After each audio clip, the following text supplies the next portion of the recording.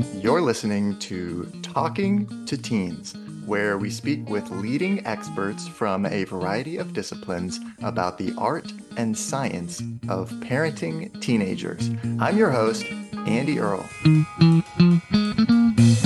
We're here today with Tiffany Jewell talking about how the school system is inherently racist and what teenagers and parents can do about it. We find ourselves in a school system today in which students of color are more than twice as likely to be suspended and expelled. They're less likely to be put into advanced classes and given opportunities for support and mentorship. They're more likely to be searched and disciplined.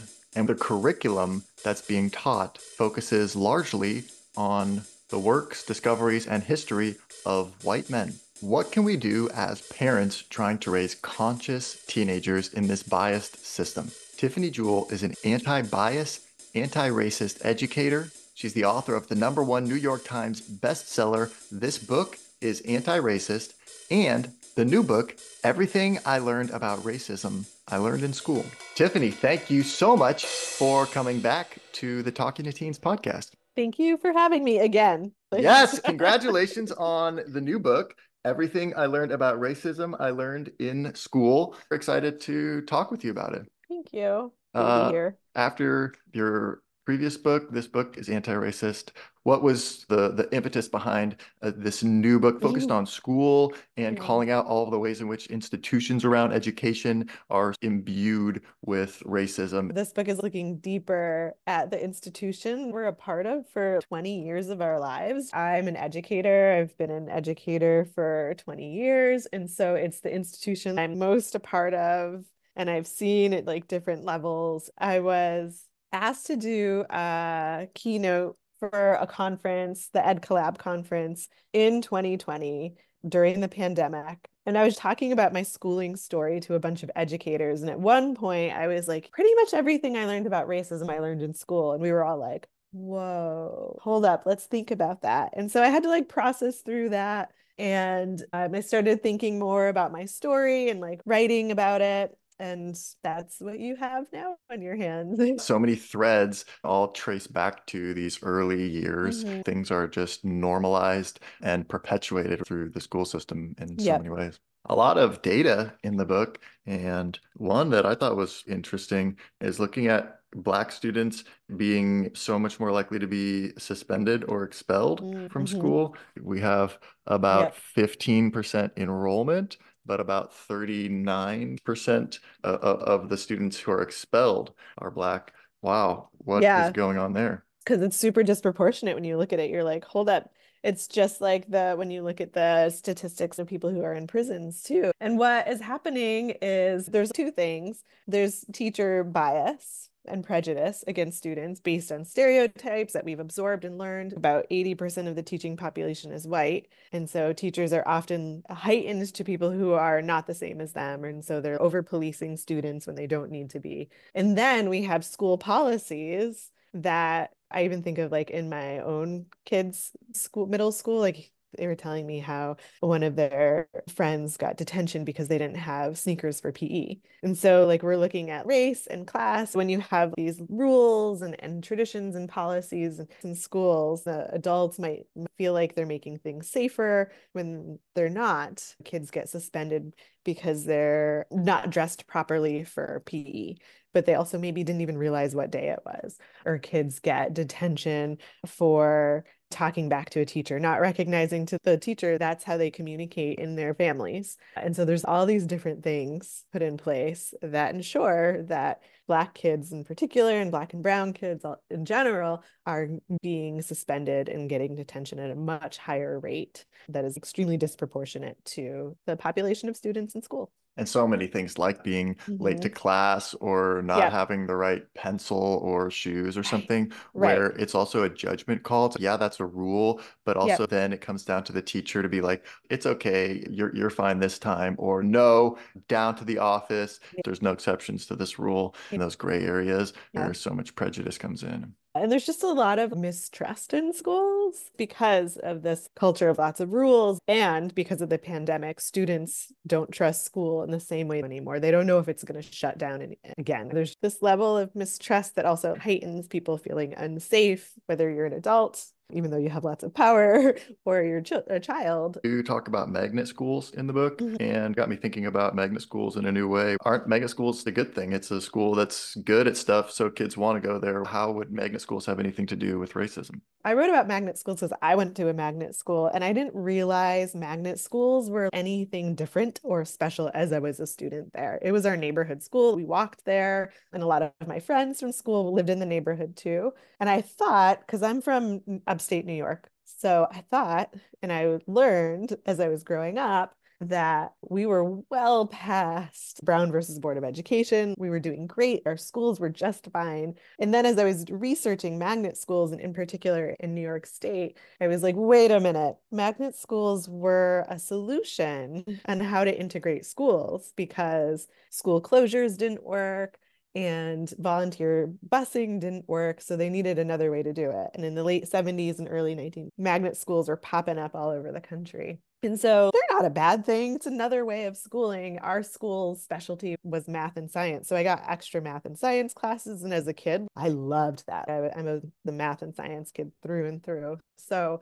it totally met my need and we had kids busing but it was a shock to learn that i was a part of this integration experiment in the 80s and now I talk to kids and I'm like, schools are still really segregated today. What's that about? And the thing with magnet schooling too is now they're more intense. There's big application processes for some. You might live in the neighborhood of a school, but you might not be able to get in. And I think neighborhood schools are important, especially for families that don't have transportation. You want to be able to be a part of your school community. And magnet schools are really beautiful but we have to reassess if they're doing what we intended them to do, which is integrate our schools and bring lots of different people together. I hadn't really thought of how mm-hmm. hard it is to integrate schools when the communities in which they are built are not integrated. Some kids have to go to school not in their community if we want to really have integrated schools. When you look at like the history of school integration, we put so much of the onus on children instead of addressing the neighborhoods, redlining and deep systems in our communities and cities and towns. We're still almost putting it on, on children and, and teachers. What if we created more affordable housing in this neighborhood? Because we need affordable housing everywhere everywhere in this country. Nobody wants to address those. The theme throughout the book that so often we're putting the onus on the people or the individuals mm-hmm. or the groups of people rather than on the structure of right. the system itself. At we got to move the kids around to different schools rather than why are the communities so right. segregated. Another way that is happening is with terminology. And mm-hmm. you talk about this term, the achievement gap, and how this is another way of putting this. The problem is the kids, they're not achieving enough. And reframing that with this idea of calling it the opportunity gap instead mm-hmm. of the achievement gap, I thought was really powerful. Language is so important. And if we don't understand exactly what we're talking about. Like we all have our own understandings and definitions. It gets really confusing. So that's why I do a lot of defining in my books. And like, let's just all make sure we're talking about the same thing at the same time. Something else you dive into is the idea of tracking, putting mm-hmm. kids on different teams based on how maybe they did on one exam really early on, or some showed some sort of promise in some area and mm-hmm. putting them into different tracks. What why does that factor so mm. much into hmm. your book? It was a huge part of my school. So, my elementary school was predominantly black and brown, and we were a pretty close community. A lot of us lived in the neighborhood. With middle school, it was still our neighborhood middle school, but it was about a mile away, and two other schools fed into the middle school. And the two other schools that fed into it were predominantly white. And so it was my first time being in classrooms where white kids were in the majority, which felt like a shock. And I was tracked into team one, which was the college track. Someone somewhere was like, this kid gets to go to college. One of my classmates was in team three, and they're like, this kid, maybe they'll get to work on cars one day or something. And being tracked into team one I was in a class of almost all white kids, and we had the nicest hallway that had all this like sunshine. We went on a ton of field trips that my other friends didn't go. So I was just like really clear the distinctions between the different teams. I felt like there were things that were unfair, but I didn't know why. I also didn't think I was smarter than friends in team two and team three because I wasn't, but someone somewhere decided, and maybe who who knows why i i don't think i was even a great test taker. Uh, i think it's because i'm like light and we were raised by our white mom and our district some at some point labeled us as white and so that could have been why. It's technically illegal today to track kids but we have ability groupings where we group kids reading groups. Here are the kids who are reading chapter books and here are the kids who are earlier readers and here are the kids who are learning phonics and those kids tend to stay together and then the kids who are reading chapter books in second grade get pushed into taking advanced placement courses or IB courses. It's still the same. We just maybe call it different, but it allows for us to have this divide between people and it's often based on race and class again. What if everybody had the same opportunities? What if everybody in my middle school had gone on the same field trips and we all had classes in different hallways so we could experience the sunshine or the darkness in the back hall? I think school would have been a little different and maybe less of a shock for some of us. That makes me think back to that term the opportunity gap mm-hmm. and how we take kids coming in who have already had a huge different gap of opportunities. And then now we're going to take the ones who have had the most opportunities before right. even starting school, and we're going to then put them on a track where they're going to have the best opportunities right. to continue their education. You're and the ones who have already had the least opportunities and put them in the low track where they are going to continue to have yeah. less opportunities yeah. and be less challenged, and we're going to expect less from them. And right well, how we're only just perpetuating exactly what is already there. And thinking of teenagers, the tracking becomes really clear in middle school and high school, especially as you get pushed towards one direction of college or not. And I always think about the emotional lives of kids too. And what does that mean for the kid who's from the school that is more under resourced, but is doing great, but then they don't get to be in the college track because of who they are and where they come from? What does that tell them in their life? Getting to sixth grade, that first year of middle school was when it was first there's different levels of math and are you in the mm-hmm. advanced math or the lower math or even are you into algebra math was super easy for me because i'm like went to science camp every mm-hmm. summer my parents just did multiplication tables with right. me for fun now we put me on the high math track but it's not nothing inherent about me i've had all these opportunities right. to practice this that so many people haven't had exactly so where do you think this leaves this leaves families today who find themselves in this kind of system or see this happening in your community and your school? I think it's really hard to see when you're in it. My oldest is now in middle school and I'm not in the school like I used to be with elementary. And so I don't where he is in the school or compared to other or kids, which is nice and a relief, but also I want to know how his peers are doing too, especially his black and brown peers. How are they doing in school? How is school supporting them and creating a safe environment so they can learn instead of just continuing to do what's always been done and push black and brown kids aside and poor kids aside and be like, you will go to the vocational school. We'll decide these for you. So curious what happens when they're in eighth grade and, and the question of high like which high school to go to comes up because we have a vocational school and we have the traditional school. And so i'm curious if that is open to everybody or if some kids get pushed. There are things I have to learn as a, as a parent and a caregiver and as an educator and as an author. Whenever I talk to kids in middle school and high school, the tracking part is shocking to them, but they also see it and they know it. They'll be like, oh, yeah, I do all these extracurriculars or I'm an AP. And other kids will be like, I'm not. Or teachers will come up to me later and be like, I really don't know if this kid will be able to read your book because they're they're on an IEP. And I'm like, there's an audio book. There's many different forms to read a book. Why should we discount them because of their abilities and disabilities? It's fascinating the way people talk about kids and what they know. You write about fear in the book And I found that interesting. It comes up a number of times throughout the book as a tool that's used to keep kids under the thumb of the system. Fear is the driving force of the culture of white dominance. We have this undercurrent of fear teachers being afraid of students. We see kindergartners, little black boy kindergartners in particular, and black girls getting suspended from school because the adult felt fear around them.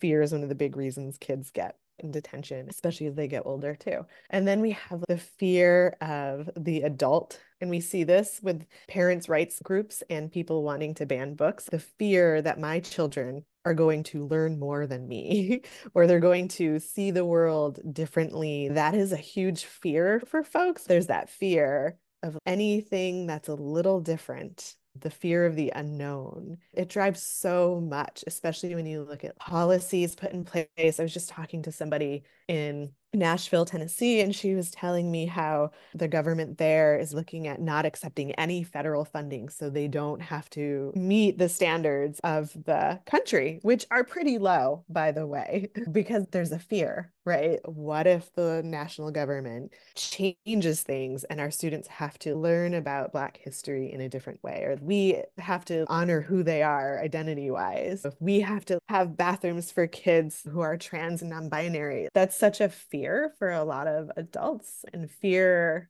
is often linked to power. A lot of adults like to have power over young folks and children. And all of those fears have allowed for us to have a, a schooling system that hasn't changed a lot. Since I, I went to school 20 and 30 years ago, and I'm working in schools now. And there are some things that I'm just like, wow, how is this still the same? Like, why are kids still reading Hatchet?